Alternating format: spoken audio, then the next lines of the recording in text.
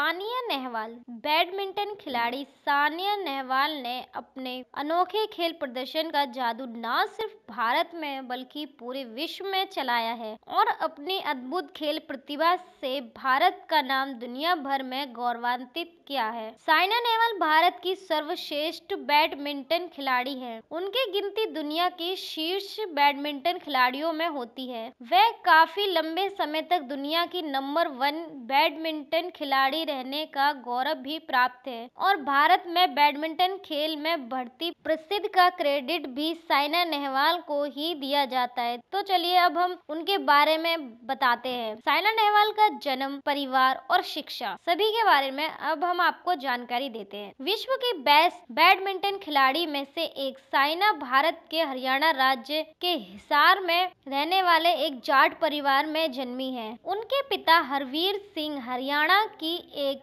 Agriculture university में काम करते थे, जबकि उनकी माता उषा रानी भी साइना की तरह ही एक बैडमिंटन खिलाड़ी भी थी। वह स्टेट लेवल पर बैडमिंटन खेला करती थी। साइना के पिता भी बैडमिंटन के स्टेट लेवल के बेहतरीन खिलाड़ी रह चुके हैं। इसलिए यह कहा जाता है कि साइना को बैडमिंटन खेल की अद्भुत प्रतिभा उनके माता पिता से विरासत में मिली है। साइना नेहवाल ने अपनी स्कूल की पढ़ाई की शुरुआत हरियाणा के हिसार से एक स्कूल से की थी, लेकिन उनके पिता का हैदराबाद ट्रांसफ़र हो जाने की वजह से उनके पूरे परिवार को हैदराबाद शिफ्ट होना पड़ा। इसके बाद साइना ने अपनी दसवीं की पढ़ाई from saint Ann college, Mehdipatnam Hyderabad से पास की है। साइना एक पढ़ने वाली छात्रा भी थी। इसके साथ ही वह खेल गतिविधियों में भी अपने अपने स्कूल में काफ़ी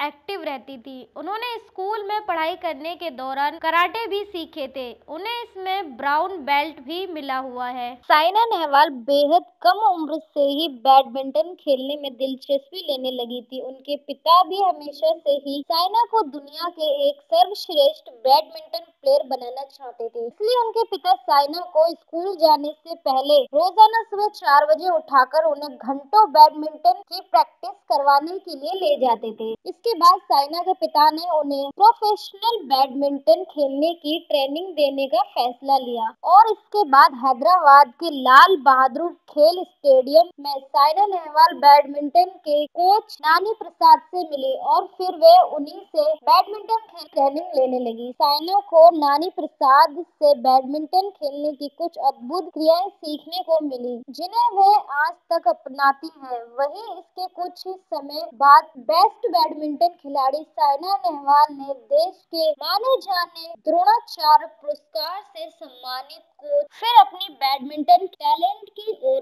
अधिक निखरने के लिए साइना ने हैदराबाद की बैडमिंटन खिलाड़ी कोच गोपी चंद जी से बैडमिंटन खेलने का हुनर सीखा। भारतीय बैडमिंटन स्टार साइना नेहवाल ने जब से अपने बैडमिंटन खेल में करियर की शुरुआत की है, तब से अपनी अद्भुत खेल प्रतिभा से लोगों के दिल में कामयाब रही है और कभी पीछे मुड़कर नहीं देखा। साइना नेहवाल ने अपना सबसे पहला टूर्नामेंट साल 2003 में हुए जूनियर ओपन में खेला था और इसमें उन्होंने शानदार प्रदर्शन कर जीत साल 2004 में हुए कॉमनवेल्थ यूथ गेम में बेहतरीन प्रदर्शन कर साइना ने दूसरा स्थान हासिल किया था। साल 2005 में साइना नेहवाल जी का परचम एशियाई सैटेलाइट बैडमिंटन टूर्नामेंट में भी साइना ने अपनी अद्भुत खेल प्रतिभा का प्रदर्शन कर टूर्नामेंट अपने नाम कर लिया और जीत कर परचम लहराया। 2006 में उन्होंने 16 साल की उम्र में खिताब जीता। 2008 में उन्होंने वर्ल्ड जूनियर बैडमिंटन चैंपियनशिप का खिताब था 2009 में साइना ने दुनिया की सबसे प्रमुख बैडमिंटन सीरीज़ इंडोनेशिया ओपन का खिताब जीता। 2009 में ही उन्हें अर्जुन पुरस्कार से भी नवाजा गया। साइना नेहवाल के अद्भुत प्रयासों के बदौलत ही